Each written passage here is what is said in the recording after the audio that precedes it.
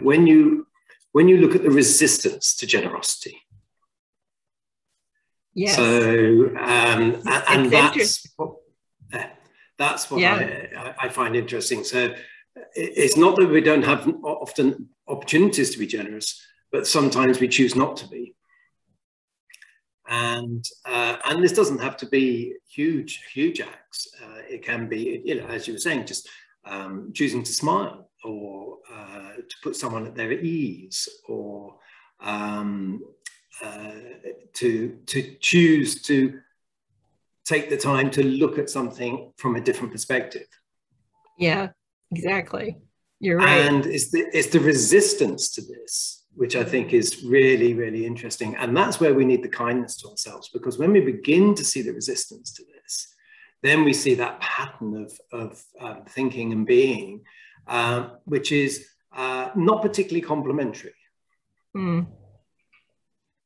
Uh, and so we need a we need a kindness because um, often it's um, it's become a habit. It's become a reflex, um, and it might be around um, uh, concern that we might not have enough for ourselves, or um, that we might be taken advantage of, or um, uh, an uncomfortable feeling if we if we then uh, choose to take a different perspective. Um, and, and, so this really moves the meditation into, into daily life. So I think generosity is a, is a great key for unlocking the practice in daily life itself. Mm. Yeah, it's definitely true. Sarah, hi. Hello there. Can I? Um, yeah, I just wanted to share a, a, a couple of things this week uh, that I think this this this talk for me is just so so perfect this week, and um, just picking up with something you were saying there around generosity. I think in family life we're so entrenched in our patterns that often mm. it's not even visible to see how to do something generous. And I was with my parents earlier in the week, and a conversation began that's quite a familiar one. And it was somebody in, in, in my, my family who was starting down a line of thinking that was quite um, critical, not of anyone in the group, but just more, more broadly judgmental. And I, I saw it beginning to roll out and I, I I did something different, which was very which was interesting. So instead of adding into it, joining it, or becoming silent and withdrawing because I didn't like it, I did a little intervention and I got the person to swerve. And it was really nice. We sort of managed to to that thought process went cool and we got onto something else. And that felt like a very, um, yeah, so it's a new, it's a new uh, way of being in a, in a group. And the family groups can be very, very, very strong so that you can not, you might start to see things, but you don't know how to do anything with them. But actually, being generous in that moment with staying neutral rather than having your past reaction, you can do something that's positive and skillful that can help the other person move out of that mindset. So exactly. and then it happened yeah. and it happened again in another context with a with a mood the other day. And usually I'd have responded quite um, well, in fact, I did start to respond a bit grumpily but then, but then I caught my own reaction happening, allowed it to drop. And then I was able to generate loving kindness to the person who was in the mood. And right. then their mood began to shift. And then I was able to, ex- in fact, this, there was a space available to explain what I was doing rather than, rather than being why are you smiling? That's annoying. because that sometimes happens. yeah, exactly. Um, yeah. But actually, this this time it was it was it was really really good and it really worked and and, and balance was restored and everyone saw that balance came through in the group. So it's it's a it's a very um, it's a very very powerful practice to apply it in daily life. Really difficult when you're in very strong programs, particularly the family ones. But if you can stay present and neutral, like you've been describing in yourself, there's a mm-hmm. window to have a different behavior. And that's mm-hmm. the, the generous and positive behavior that just just can be quite spontaneous as long as your intention is yeah is, it is really on, it really can and, and what you're uncovering is you're going what's happening to you is that you've been practicing for a pretty long time and now what's happening is you are sensing you are sensitive to the other person's craving mm. and you're being sensitive to the rising up of the tension and tightness and the other person who starts to crave and go into the negative Mm-mm. into the negative and you can see where may, the, you're also discovering the power that is behind loving kindness and compassion is much more powerful. When we look at for instance uh, the uh, vibrational levels or the frequencies we look at the frequencies of these things there was uh, there was one in um, power versus force in that book the new the new version of power versus force and in that in that one uh, there's a chart. And he was interviewed recently. The author was interviewed about this. And he said you know covid 19 is like about a five or six. And uh, loving on a frequency base you see and loving kindness or or for, uh, loving kindness forgiveness uh, compassion are up 120 125 and they they they seem to understand that in order to wipe out covid if the person comes up into the levels the higher levels working and they can't get covid because COVID will get killed off at 15. It's about five or something like that. And it'll get killed off at 15 frequency. So, what is this business of frequency throughout your body? Is if you're living loving kindness, you're making a decision to live loving kindness through everything that you're doing.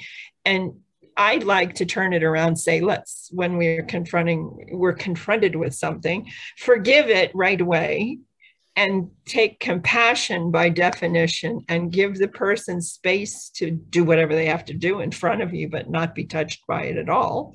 Because you don't take anything personally, you just decide, okay, it's an anatta experiment here. I'm the anatta doll, and I'm just going to stand here and let the person let it rip. Okay. but I'm going to stay with the frequencies inside of forgiveness, loving kindness, and compassion. Mm-hmm. And then I might sit there and say, yes, yes, yes. I don't have to agree with them or comment back. And then it cancels out the person completely. Yeah, it can shut the person down. You saw a shutdown happen where the other person turned off in front of you, and then there you were with the positive keep doing it, keep practicing it is my advice. Now, but we all have stories about this, but I had a, a, a thing happen where um, a person was being really mean and nasty and towards another person at a table once. And when that was happening, one person injected in this positive stuff. And I just sat there in awe of this injection of positive, turned the person off. How did they do it? They simply asked a question, by the way, how are your children? How are they doing in school? And the person left the attack on the other person and jumped into bragging about their children in school and how they were doing. Fantastic example right there in front of you and what we're seeing is um, the the conquest of this higher frequency against the lower frequency which are all the negative unwholesome mind states doing wrong thing wrong speech wrong action wrong everything and canceling it out. What we're looking for is confidence to go out and test it and use it. Yeah And that's what that's what you did. That's good. Yeah. What? Yeah. Just a couple of really simple things. My my daughter is uh, one of my daughter. Well, both my daughters are great inspiration, but a couple of small things. So I I used to say um, have quite a, a mean mean way of being if someone else was making a drink. So I mention this because this is so easy to bring into everyone's daily life. And oh, haven't you made me one? That's what I used to do. It's really negative and grumpy. And then my daughter showed me how to do it properly. And she would come in and go, her face bright and shining. Oh, tea, how lovely. And so, of course, the person would respond with me going, Would you like one? And oh, yes. And everyone felt so bright. There was no kind of miserable, oh, you've left me out again. You didn't make me one. How wonderful. And then she did something with Hugh, didn't she, the other day? I can't remember what it was. Hugh, Hugh hadn't done something, he'd missed something out. And, um, and she said, um, I'll let that slide this time, but next time you'll add it in. She's in the room now. and we all laughed. It's just great. And it's just this change of the way that we can say things that can have a generous intention behind it. And the exactly. result that, that spreads, everyone is happy. It's it's really it's really good. And then sometimes so you'll have around it's like that. Follow follow yeah. them. sometimes you'll have this situation in a coupleship. Um, you know, sometimes I do blessings for weddings, and there's four or five different things. I think there's five pieces on it, and um, one of the things is about respecting the other person and and and communication and sharing time and then uh, you know having them as a friend but then having love in the relationship too. Those are like the five pieces. And part of it has to do with altruistic joy. And um, altruistic joy needs to exist in a relationship. When i got a chance one time to interview at least 20 along this highway you know places we were stopping crossing the country and we asking these elder people who were celebrating um, 70 year marriages. So they had gone through the Great Depression. The question was, how did they stay together for so long? It was this altruistic joy and a sense of humor with everything that was going a sense of humor. I mean can you imagine they took the farm they came they crashed the mortgage took the animals took the feed took the equipment and they end up living in a truck and they're talking about having a sense of humor and staying together no matter what you know? And i'm listening to these stories are just amazing you know of what they went through. But um, altruism is something that can be in one person and someone said but if the it's in me but it's not in him or it's in him but it's not in me what do we do and what you're talking about is an example of it. We we train the mind, we purify the mind and train the mind systematically by learning how to change our habits and change the way we are working. And so we have this new uh, neurocognitive science that's telling us that you have this flexible neural pathway, neuroplasticity situation. And you know the the brain can change so there's no excuse anymore you know there's no excuse that well i can't change i'm not that way. Somebody here is probably sitting there inside them saying well i hear her story but i'm not that way. She's that way but i can't be that way. But that's not true because you can train yourself and then it gets fun if you're both working at that and feel you were feeling the other person in that situation. You were seeing what they needed and you were supplying it. That's living Buddhism. See, that's living the practice. I wish, well, that's what I call engaged Buddhism. Engaged Buddhism has some other kind of. Uh, some other kind of thing where you're supposed to get involved politics or everything too or something i don't remember but my idea of interactive, engaged Buddhism. Maybe I should say it that way. You just practiced interactive, engaged Buddhism. it's great. One of the things that was happening in the, um, I guess, the 80s, about the 80s, well, I guess the 70s, was there was a lot of working out in psychology. There were some topics in the American Psychiatric Association, and there were also uh, one year there, there was topics about um, mother-daughter, father-son relationships. And that was one of the topics one year. And so people got into this, and one woman wrote an article in the Midwest of the United States. She and her mother didn't get along well at all for many, many, many years. And um, it was because of her article that I started. I wasn't in as bad shape as she was with her mom, but I was in not really in great shape, and I wanted to see what would happen. What she did was she made a commitment to sit down uh, two or three times a week with her mother for about two hours and do what's called yes therapy yes therapy. And the way she kicked it off was she went, started the objective of this practice she was doing was an attempt to hear her mother's life story. And how many of us have heard our mother's life story? When you step back, you think about it, you really probably don't. Even if you grew up beside your mother as a child here, you probably don't know the real story of her whole life unless you did this.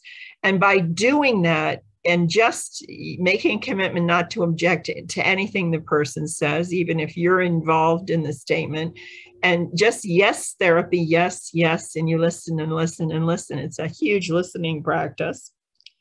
And you come out the other end much more personally aware and, and sensitive to the behavior of your mother has been for you growing up and the problems that you've had.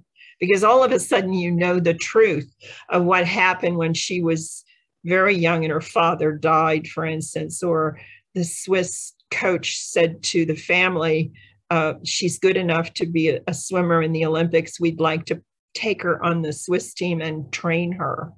Okay. And the grandmother comes and says, Oh, no, you won't do that in this day and time. Women don't do that. No, no, no. And take it away from her at 15 years old. You see? So you never knew any of these things. You didn't know that someone incredibly rich and famous had, you know, um, proposed to this person when she was about 17 and she said no uh, because of the prejudices of her family, which was not her prejudice, but because of the prejudice in her family against that marriage, she turned it down. And this the sadness that comes out of this is amazing. But to understand the there's a real basis for it when you're a young person growing up with your your parents and there's something going on. You you don't really know. You think you do but you don't. You know that's what happens. And the yes therapy puts a whole new shed of light and the what happened was she was so much kinder to her mother and patient after that. It wasn't like she said yes i agree with you. She just listened and finally heard all the, the way it was for her. And this is a, at that time this was a person that went through world war one uh, world war two lost the grandparents in world war one and then later lost the sons in uh, world war two and just had horrendous horrendous history that you didn't know anything about and how we presume. So there you are you're in a bad situation and why are you in the bad situation? How are you there?